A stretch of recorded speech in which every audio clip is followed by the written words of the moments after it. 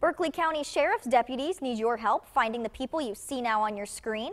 Officials say 33-year-old Michelle Penveris and David Regan broke into the Naval Weapons Station storage in Goose Creek and stole thousands of dollars in valuables.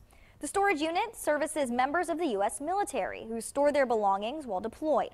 Penderis is wanted for burglary and conspiracy. Regan is wanted for burglary.